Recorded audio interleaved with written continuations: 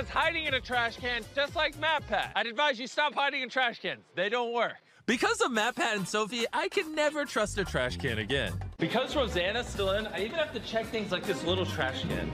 She can fit in anything. Like if I were a tiny Rosanna Pansino, where would I hide? Boom! If I were a tiny Rosanna Pansino, where would I hide? I thought I had it for sure. For sure.